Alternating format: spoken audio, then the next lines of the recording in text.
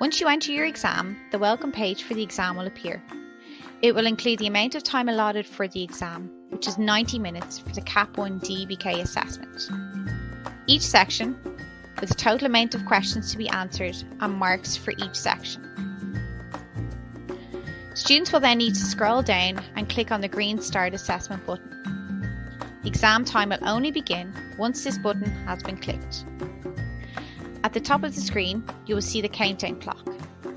To the right of this, text can either be increased or decreased by pressing the A plus or A minus button.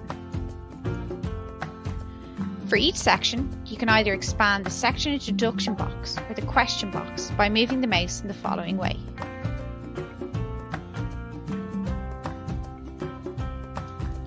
To move to the next question, click the next button.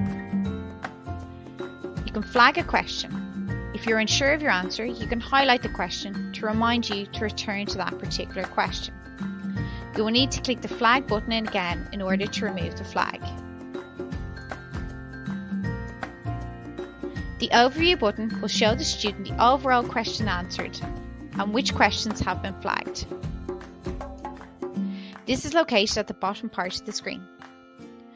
Students can skip to different parts of the exam. They can also navigate easily through the questions without having to constantly click the next button. Students can view the introduction page by clicking the introduction button.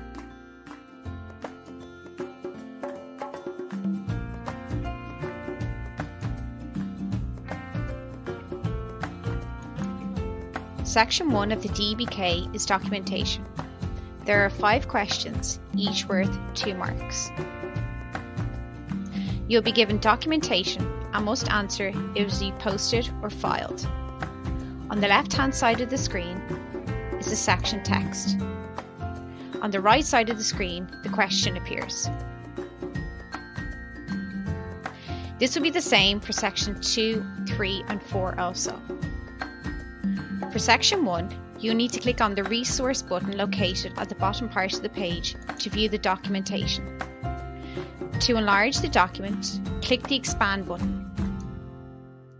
To exit the document, press the X. You'll then need to select whether it is posted or filed.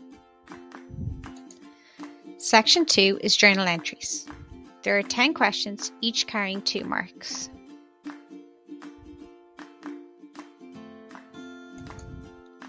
You will be given a description of a transaction or a previous set of postings. From this information, you will be required to complete the necessary journal entry. Enter the figures into the value boxes below.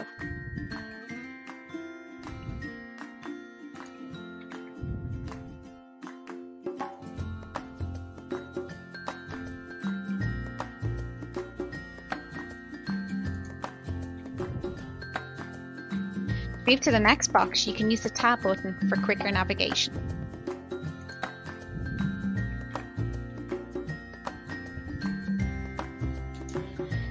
Section 3 is reconciliation. There are 10 questions, each question carrying 2 marks.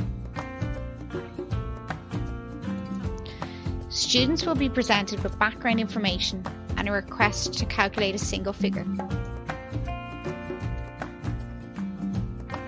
Where appropriate, you will be asked to use the minus sign to indicate a credit balance, overdrawn balance, loss, etc.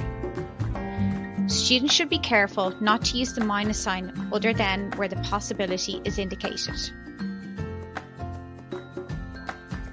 You will enter the figures into the value box.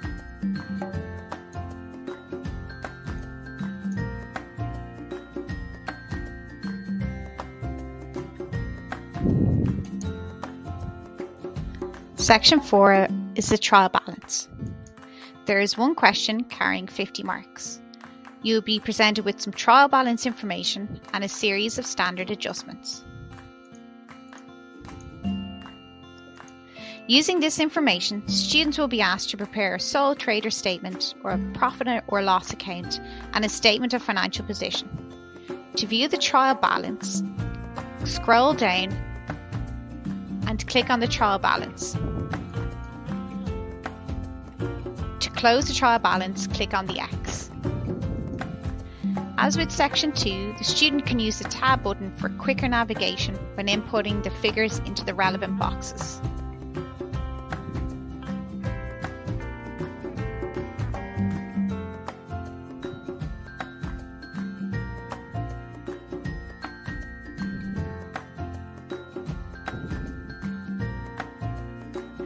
Once a student wishes to submit their exam, they must click on the Complete Assessment button.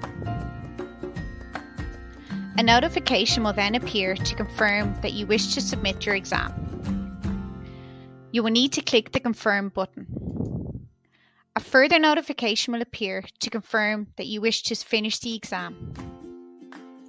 Once the Finish button has been clicked, your script will be submitted.